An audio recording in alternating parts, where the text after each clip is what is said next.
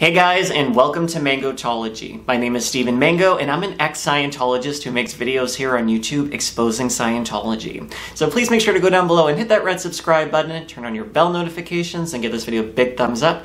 And let's get into um, today's video because there is so much to catch you guys up on.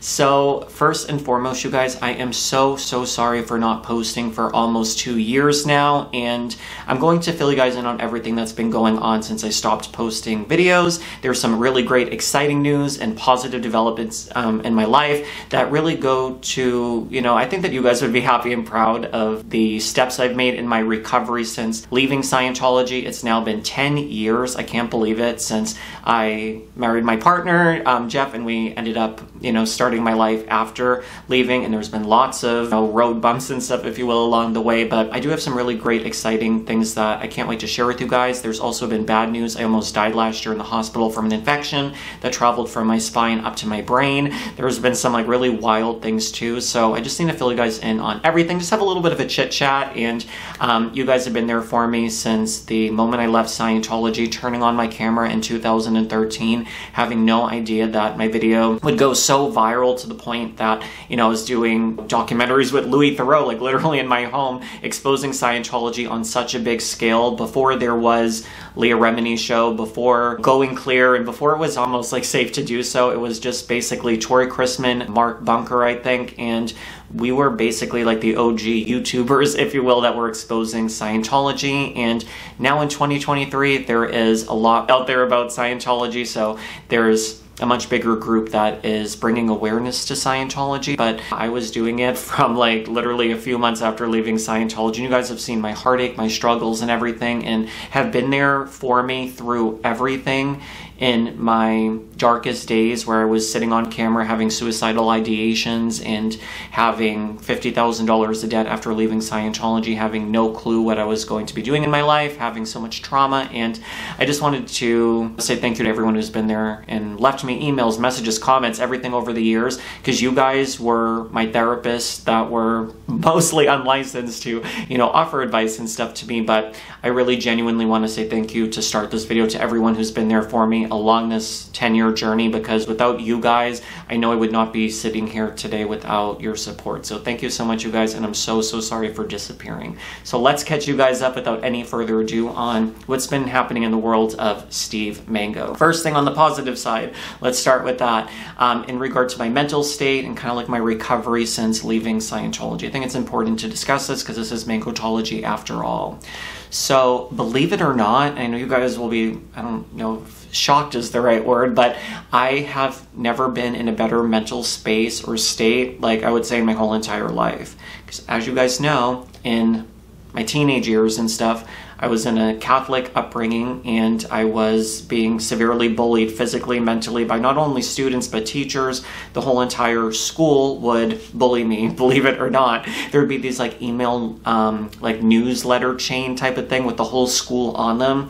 And the students would find out what that email was and they would blast out emails talking about me and these gay derogatory slang terms. And again, it was in 2004 or something like that. So the internet and online bullying wasn't a thing, but it started to become that because it was like the new advent of the internet. So I was being bullied for my sexuality to the whole entire school, and teachers and stuff didn't know how to deal with that sort of thing. So I was being physically assaulted and just scared to go in every single day.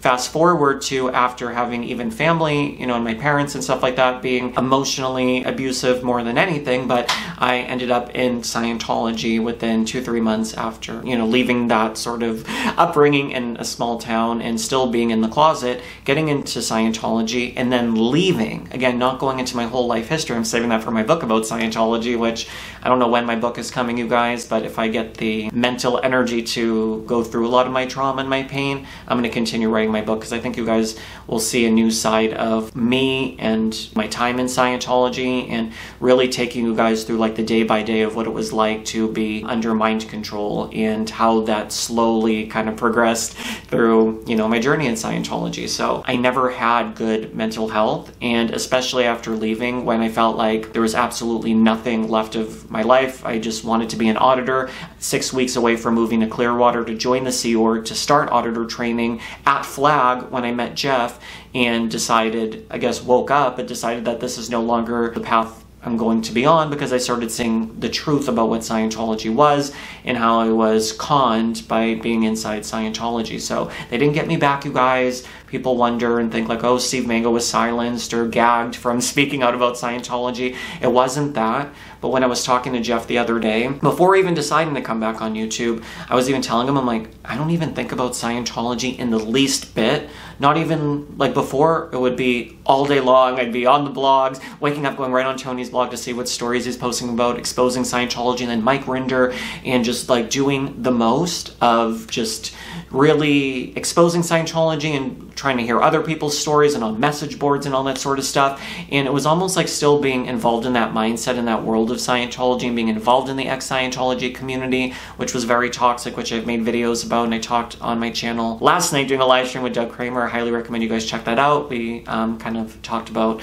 more or less my stuff because it was, you know, my return to YouTube. But yeah, I was just so involved in that world. And now, when you guys are going to hear my positive updates with what I'm doing with my life and stuff, I think you guys will be proud of me, but also to say, like, yeah, of course, like now you're making strides to better your future, not kind of be stuck inside this Scientology or ex Scientology sort of mindset. Because you guys, I didn't move to LA in 2009 to join Scientology, leave, and then speak and talk about Scientology for 10 years.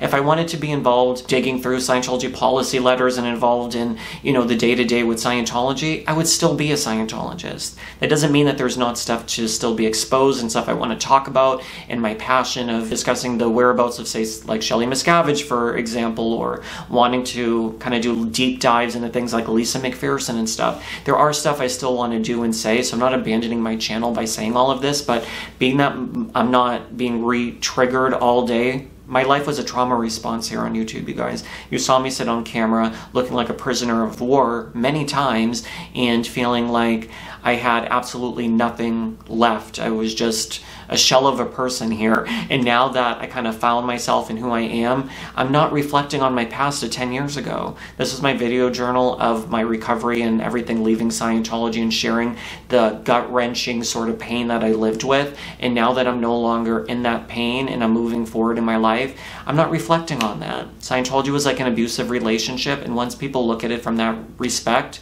it's like if you leave an abusive husband or wife. You're not going to want to talk about them 10 years later when you're trying to move on from them. And if you sit on camera, make it your income, and you make it just like I did, and you make this your whole entire world, it almost feels like, how do I escape this? Because now I'm talking about Scientology all over again every single day. So I wasn't the greatest YouTuber about posting that frequently, but there were times I'd sit down here crying and in tears and just so upset. And I just wanted to share that I'm in such a good mental health space. I do not even have a therapist, but I feel like I don't even have any form of like mental illness like I used to. Not saying I don't have flare ups of, you know, things that upset me and stuff, but I'm so just level headed and feeling good and happy every single day that I don't know if it's really good for me to sit on camera every day or even that frequently and talking about my past because I don't want to like derail the good feelings and stuff like that. So that's longer than I wanted to talk about my mental health, but that's the mental health update. Everything's feeling good. I'm happy, better than ever, and my absence of YouTube wasn't because I was struggling, it's actually per the opposite. So let's just keep on this good news train before we get into like how I almost died and all like the negative sort of stuff. So speaking on good stuff too, I am now in college, which I know I told you guys about, and this was kind of going on during the pandemic when um, the pandemic, I guess this is kind of picking things up where we left off. I was telling you guys like, hey, I'm really thinking about going to nursing school. I don't know if I could really do it or not because wanting to be an actor, which we'll talk about what's going on with the acting career and stuff, but I'm like, you know what? I don't know if I'm going to be able to get through nursing classes and stuff, which will go into my physical health in just a little while. I don't really know if this is what I want to do with my life, but it's something I have a passion for because I love medical aesthetics like Botox, fillers, skincare, just all of that sort of stuff. Believe it or not, I know more about it than you know people would probably guess. Um, I would even, when I tell you about what job I would have, I'd even train like nurses and other people about like aesthetic treatments and stuff. So I took a little bit of a detour from college first and foremost because I started working at a med spa, which I can't talk about it for like legal purposes, but um, there was a med spa in Beverly Hills that I worked at as a patient coordinator, and that's what kind of was getting my feet wet because I wanted to see if I even wanted to work in this industry before I went and invested tens of thousands of dollars to go back to college. So I took the jump doing a normal job. I disappeared from YouTube because when you work nine to five, the last thing you want to do when you get home from a day like that is to sit down, turn on a camera and a ring light and start talking about your past pains and upsets and failures and all that sort of stuff. So I got that job and I killed it. I you know, was doing everything from, you know, patient scheduling to numbing patients for like lip filler to taking their before and after photos, consents, turning over the nurse's room, um, dealing with any potential complications that may arise, with getting appropriate handlings for stuff like that. It was just everything involving running a medical spa. Then I kind of embellished my resume and I got a job. This was last year or so. Um, for a few months, I worked actually managing a medical spa in the El Segundo area It was a chain med spa with several locations, but I was in charge of a multi-million dollar medical spa, you guys. I never made like a six-figure salary in my life. I'm like, oh my God, like I was just making, you know, however much money here, a couple hundred, a few thousand a month, maybe at the most, but I never had like that type of employment before where I had several nurses under me, NPs, MDs, like the most I was doing, you know, running payroll to, you know, doing sales, making sure we can do six figure sales every single month, leading my team to do that, working with product reps, pharmaceutical people, having to order products like Botox and fillers and inventorying medical supplies. And again, you guys saw me on camera barely able to get up out of bed, coming and sitting and making a video just talking. I couldn't even muster up the strength inside me to do that. Going from that type of Steve Mango to the person who you guys see today who is able to show up day after day to, you know, lasers and just doing like so many different elements of running a medical spa. There's so much to it, and it was so overwhelming, but I was able to get through it. So I just wanted to share that now that I'm in college, um, I'm about to probably start the actual nursing classes and clinicals and all that stuff probably in a few months, which I'm excited about. I'm doing almost like all A's. I have like a 99.81 in my sociology class and stuff. So I'm doing so well beyond the belief of my imagination that I could be doing in college because I always just considered myself a creative type of person. Never thought I'd be interested in science and stuff, but I'm going to go for my RN, become a aesthetic nurse with a bachelor's degree, and then I want to become a nurse practitioner so I could prescribe medication and being able to work more autonomously as I'd be able to do as an NP. Have to get through all the regular nursing sort of stuff to be able to get to the point of doing like plastic surgery sort of aesthetic nursing side of stuff, but I never in my wildest dreams would have thought I would from the days of wanting to move into Scientology to be a Sea Org, you know, auditor to now all of a sudden wanting to work in the medical field. And I was so anti medicine and so anti psychiatry, all of that to be like, oh my God, I think I really want to work in the medical field. It's just crazy how life takes you in that direction. So I'm doing a lot of my schoolwork from home, which I have the luxury and pleasure to be able to do until I have to actually start the nursing part. So it's a good segue into actual like nursing school. I know where I want to go. My husband has money saved for me to be able to go to a private nursing school, which is one that doesn't have wait lists and stuff like that. I basically take a test to go in and just sign up. And it's very expensive. I think four years if I didn't have the prerequisites would be like $130,000. It's about half that cost with the prerequisite. so I'm, I don't have five years to waste to go on a nursing waiting list at community college and be 36 just to start. So I'm going to streamline and get myself in so I can get through and actually have my career, which I'm really excited about that. Yeah, so I've been working in the medical aesthetics field and stuff, but what happened, why I got fired from that job is because my health took a turn for the worst in two ways. I have tumors and now I have, or I had an infection that almost killed me. So let's talk about the infection. So one day I was doing my skincare routine because that's one of my passions is skincare and stuff. So I was doing all my 20 million step routine when I was putting on a neck cream, which I never really used that type of cream before, but again, it's prescription grade and I have kind of sensitive skin, so the fumes of the product was kind of irritating, I thought. So I thought, right? So I'm going and lying in bed and I'm realizing I can't see out of my right eye. And it felt like almost like the lens, like the cornea or something, had a smear of cream. So I thought, again, doesn't make sense, but I thought I had cream smeared on my eye. And I hope that I'm not talking too fast. I'm just trying to get through a lot of information about my update really quickly, but I just couldn't see the television. I'm, I'm like going through my glasses, like trying to like de-smudge them, and I'm like, what the hell is going on? When I realized I was blind out of my right eye.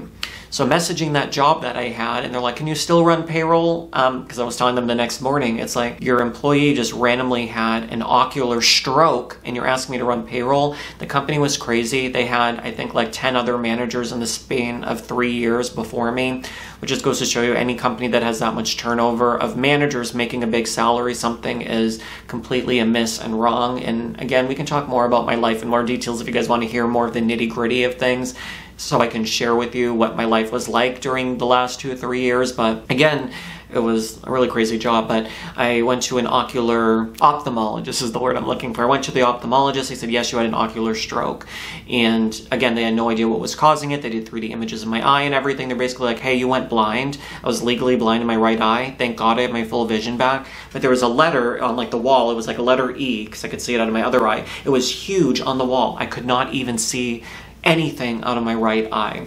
So that's what sent me into a big depression. Like last year was this was around like March of last year, like almost 13 months ago or something, 14 months ago, and I was just devastated. Like, oh my god, I went blind and I don't know what's going on, and no doctor can tell me what's happening. Now during this time as well, I was having this like severe shooting pain in the right or the left side of my head. I'm looking at myself and I'm like looking, but anyway, so the left side of my head, and it was these crippling, debilitating migraines that I thought were migraines that were sending me into the ER. And again, they just gaslight you a lot of these medical professionals saying you're stressed, maybe you're drug seeking, um, oh, you're just anxious or you have stress at work or some sort of thing. And they just roll their eyes if you're at the ER for a migraine. And it's like, I'm not there just to get medication. I'm there for them to do like an MRI or an x ray or, you know, whatever it would be to be able to diagnose what is going on with this like shooting, debilitating pain in my head. And again, they would just, you know, do a push of IV medication and then boom, go home and, you know, try to work on meditation. And I knew after the stroke something was so wrong with me and I just couldn't tell um, what it was. But I was having daily, seven days a week of these migraines of the pain. It felt like something was eating at my brain. That's how severe it was. And I knew this wasn't a migraine because I've had migraines and I wasn't that stressed out at the time. So I knew that I had to get to the bottom of this. But it got to such a tipping point when I said, you know what, I need like something just hit hit me where I said, I have to get help today. So this was a Friday. I went to a doctor that my spouse, um, he goes to like this um, medical group of like several doctors, and he spoke to his doctor and they said, Hey, have him see Dr. So and so, whatever the guy's name was. So I went to that doctor, and again, I don't know if at that point they did tests or stuff, but they said, you know what, you need to get like a spinal tap, and you we have to see because I was having really crippling pain in my spine as well. And they said we we need you to basically go to the hospital. I went to the hospital and they did a spinal tap and they were doing all sorts of different diagnostic tests and stuff like that. And they were like, oh my god, you have an infection that's in your spine that traveled up to your brain. And if you did not come here because whatever their diagnostic way of being able to discover this was, was that it was at the most severe level that they've seen to be like, hey, like if you did not come today to be able to start the intravenous antibiotics and whatever else they were doing, that you would have died tomorrow, like over the weekend. So what I really want to get across to anyone out there who have doctors gaslighting them or telling them that, you know, there's nothing wrong with them, please, if you guys have something like this going on, please get, you know, whatever sort of test it is, MRIs, blood work, whatever you have to do. See a million doctor specialists if you have the ability to do it because again, if I just went back to work or if I just listened to everyone else in my life that just said, oh, it's probably nothing it is something because I have a rare disease, which I'll talk about in a, in a minute. Um, so I ended up having a PICC line with IV int- um, intravenous antibiotics for like you know six to eight weeks or something crazy like that. I was in the hospital for you know almost a week or something like that, and um, again, it was no joke because the infection was in my spine and it went up to my brain and was killing me and was eating at it, and that's why I was having those migraines. Which guess what? They went away after I did it. Now I'm getting a couple like stress-induced kind of migraines just from like other sort of stuff stuff with like doing so much schoolwork and stuff, but it's not like the pain that I was having from these crazy debilitating migraines that I had. So it kind of set a, you know me in a damper and a kind of a bad mood because that's when my job fired me because I was gone for two three months. They were holding my job, but because I was only working there for you know a few months, they had it in their legal right to have an out because I was an at will employee that they could say, hey, you know what, this isn't working out, or we can't hold a job for you forever. And they were crazy anyways there, and that's a whole nother story that we can get into if we want to chit chat about that in the future. But I was just like, oh my god, now I had this job managing a huge medical spa, got fired from this job. I was having a major health um, crisis that now is causing lingering sort of cognitive impairment type of stuff and memory and just feeling just fuzzy a lot and having chronic intractable pain, which we're going to get to. So I was just like really like kind of like in like a damper sort of mood. When now Think about that happening. Now I was unemployed. And then all of a sudden last year, too, they discovered nine tumors. So you guys know I had a tumor excised on S2, S3 with a laminectomy and a decompression. That was in like 2018. And I thought it was more or less like a one off type of thing. But when they were doing a thoracic MRI of my upper back, they said, hey, you know what? You have like these three tumors that are on your right rib cage, intercostal, so in the muscle but they're small, they're not causing you any pain or issues, not cancer, any of these tumors. I have a condition called schwannomatosis, where these schwannomas, these tumors, it's derived from neurofibromatosis type 2. You guys may have heard of um, neurofibromatosis with the tumors that are like all these tumors all on the X, you know, on the um, outside of the person's body. This was all on the inside of my body, these type of tumors that cause pain. They're inside the nerve. So if this is the nerve, the tumors are in there. So you can imagine how painful as the nerves are trying to send messages or do whatever they do or just the pain of having any sort of tumor or something inside the nerve. So when you breathe, they're like firing off signals like this going like haywire. So all of a sudden when I'm breathing, last year I'm noticing, oh my god, I'm having pain inside the ribs, inside the muscle where the tumors are. So I was so nervous that I had, you know, these tumors growing or acting up, which they were. So basically what was discovered that I had six of clinical significance on the right side when I had only three small ones, but there's so many other like little small ones that they're not, you know, counting each and every single one of like probably 50 of them or something, but of like the bigger ones that they're noting may be causing pain, six on the right side, three on the left left side. The thing is, they're inside the muscle and the nerve, and the only way, like, they, they're basically inoperable. Where, yeah, they could break my whole chest wall, they can go try to take out some of them and guess which ones are causing the most pain, go inside the nerves and do whatever they would have to do. They would risk puncturing the lungs. If they puncture one lung, they could repair it by putting in a tube or something. If they puncture them bilaterally on both sides, then you basically die because both of your lungs are punctured, they can't fill up with air.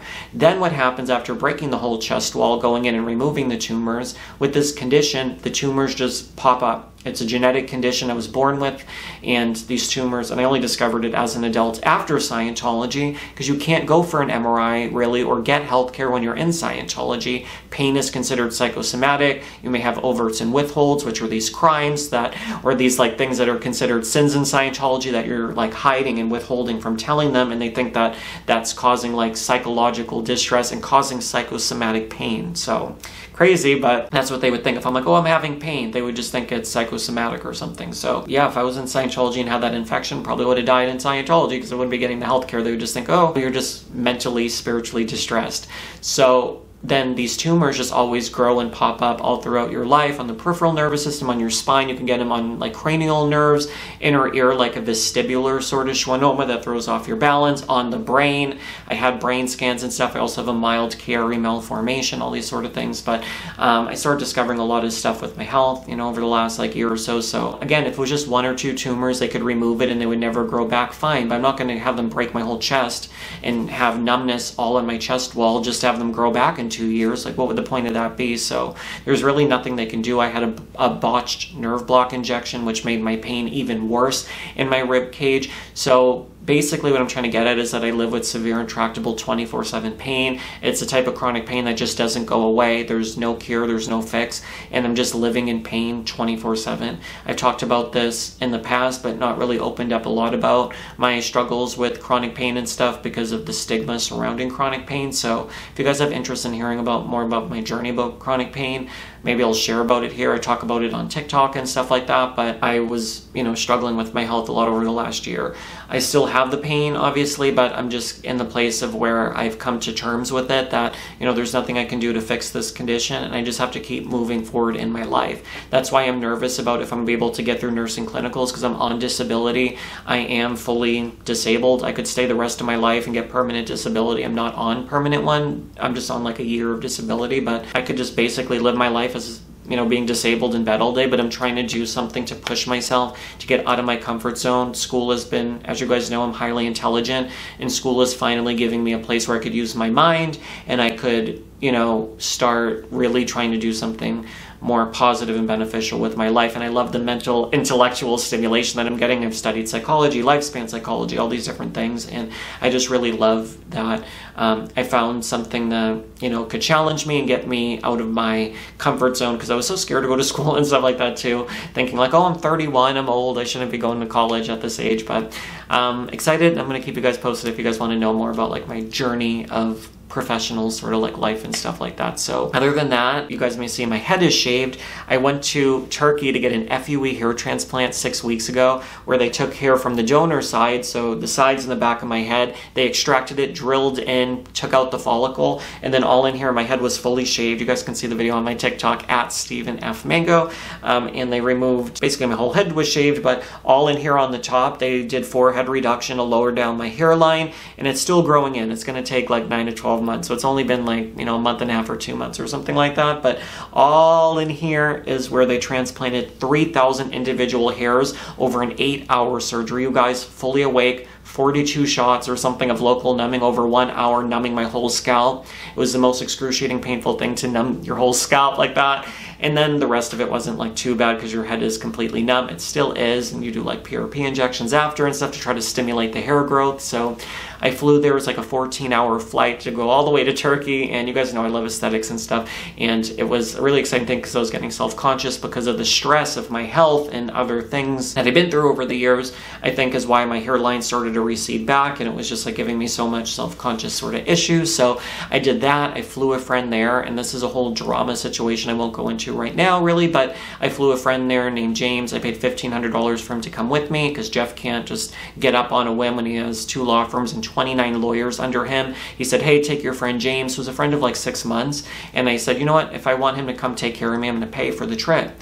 So I paid for him to come with me. Again, only knew him for a short amount of time, and I asked him to do two things for me. Text Jeff and my friend Allie, let him know that I was okay after the surgery or during the surgery, because it was 12 hours ahead and it was the middle of the night. So he wanted to wake up and get a text from James saying, hey, everything went well with Steve's surgery. Then my friend Allie to text her, let her know how the surgery was going. Then just to watch over me, stay at the clinic and make sure everything was going well. So again, this is a very short story I tell about it that as they're drilling into my scalp, the owner of the clinic comes and in said, hey, could James come in and film some videos? Because I'm posting videos about my journey for you guys to see it on my Instagram. And they said, oh no, James left. I'm like, what do you mean James left? And they're like, oh, he left to go shopping when I booked the whole next day, an extra day for the trip, so James could go shopping because that's what he likes to do, or something like that. So he could have something fun to do while my head is literally pouring fluids, running a fever, having a major eight hour operation in Istanbul, in a random country. Here, this friend goes and leaves during my surgery when I asked him to stay. This camera that's like six or eight hundred dollars left in the lobby, just sitting there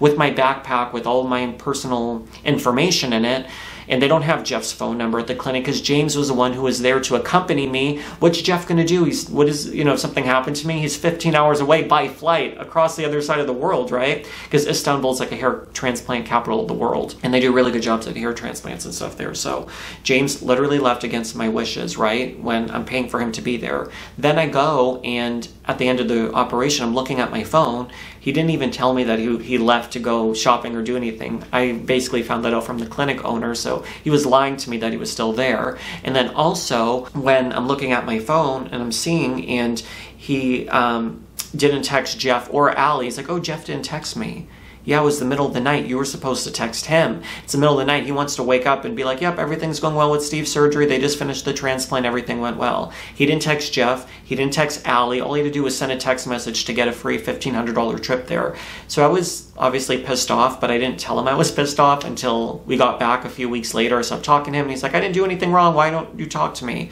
I expressed how I felt about him just leaving me, abandoning me in Turkey. And then he posted on his Instagram story, not even to me, a cease and desist, being like, I'm trying to like make you know, videos or drama about it, or basically he had a guilty conscience and he posted a cease and desist to me, like, hey, he's going to sue me if I talk about him to ruin his good name and credibility. He doesn't have any followers or attention. He's not like a YouTuber or something, right? So it's just funny that he's making it seem like I may come and perpetuate fake drama on my channel or something and talk about the situation and make him look bad or get views and money off of his name. I'm like, I haven't posted a video in like three years or two years. Like, what sort of fame am I trying to get off of like some random friend that I met on Instagram. So it was just completely crazy, you guys. So anyway, so I, I did a beauty procedure a few weeks ago. I got a lot of other cosmetic work done. You guys may see that it looked different. I had PDO threads to lift my eyebrows, my mid face, my jawline, and my neck. I had eight vials of Sculptra collagen restimulating injections to grow volume in my face. I had it into my temples, into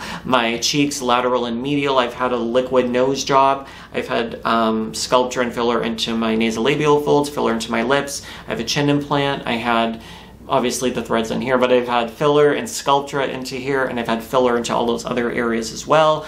Um, you guys know I've had 360 degree liposuction on my body. I'm trying to think of what else that I've done. Um, under eye filler.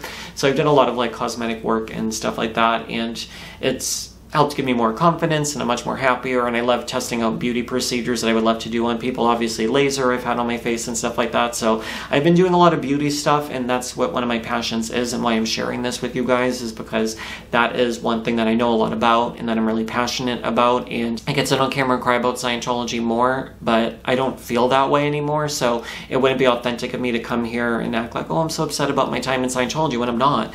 I've made a lot of strides as I just discussed moving forward in my life and I'm going to film a video about the ex-Scientology community and why I kind of left and why I stopped posting videos, and that's why I started discovering other areas and avenues that I'm happy with in my life because of the drama and the pain of what I went through in the ex Scientology community. So that video will probably be coming tomorrow. I'm going to edit it and film it right after this. But again, if you guys want to keep up with me on a little bit more of a close personal basis, you guys can follow me on Instagram. I post daily stories on Instagram of all things going on in my life. So if you're on Instagram and you want to download Instagram, at Steven Mango. It's gonna be right here. And you can follow me and be a little bit more like closer in the world of Steve Mango because I don't, while I'm in school and I'm, you know, taking finals and tests and all these sort of things, the last thing at the end of the day when I'm tired is wanting to, you know, sit on camera and make videos and stuff. Who knows? If I'm inspired and I want to start making more videos, if you guys show me lots of love and support and are invested in my journey still, I will share more about my mental side of Scientology or I'll share more other people's stories and bring them on my channel. I don't know what that will look like yet, so please let me know in the comments too what you guys would like to see from me, and maybe I can do Q&As or live streams and we can hang out, but Instagram is a good place, you guys, if you want to send me messages, or I love hearing from you guys, and it makes me feel like, you know, what I'm doing here isn't just like throwing up a video and no one cares and no one wants to hear from me. It makes me feel good, so if you guys want to share you know, comments, ideas, whatever, you can always message me to on Instagram or email me. My email will be in the description box down below as well. Um, TikTok, I've been posting some videos on TikTok about Scientology in my story. I started posting several, then I stopped. So it's at Steven F. Mango. I have like 60,000 followers on TikTok because I started talking about Kirstie Alley's death and if it kind of pertains to um, any involvement with Scientology. So if you guys are curious about what I had to say about Kirstie Alley's death and stuff, those videos got like a million views and stuff. So it was another one of those things like, oh, people still want to hear from me about what I have to say about Scientology. So I started posting about, you know, Scientology related stuff over on TikTok. So check that out if you guys want to stay tuned there because there's a better chance I could film quick TikTok videos than fit, you know, sitting down and doing like an actual video like this. So um, TikTok's a good way to reach me or just kind of follow my journey. And again, I'm probably missing stuff. If I do miss anything that I really was intending to tell you guys, I'll say it in my next video that I'm about to film. But thank you everyone who's been staying tuned for my journey the last so many years, 10 years, whatever it's been. I'm so grateful and appreciative to everyone who's like even when I did my live stream with Tuck, I'm like people actually still care. They still want to hear from me. It wasn't like I just disappeared off the face of the earth and everyone forgot about me. People were excited to see me back, so it made me want to come back and just tell you guys what's been happening the last few years. I'm in a good place. I you know had jobs outside of YouTube. I've been making positive strides. My mental health is in a good place. Yes, my health has had some like bad stuff go on, but you know things are great with me, my husband, and our dogs, and everyone is all like good, and it's just makes me happy that I finally found my place in the world after struggling for so many years. And I just wanted to share that with you guys because I know people were worried about me the last few years, and I'm so sorry to leave everyone hanging here, but I will try to come back and leave me a comment, you guys. I love hearing from you, like I just said. I'm thankful for the warm welcome back from the live stream yesterday, but please check in and leave me some comments so I can hear from all my followers and stuff. I love reading them. And give this video a thumbs up, share with a friend, let people know that Steve Mango is back, and I'll see you guys on my next video. Hopefully tomorrow, and I will not, I promise, leave you guys hanging for two more years. So love you guys. Bye. I'll see you guys soon.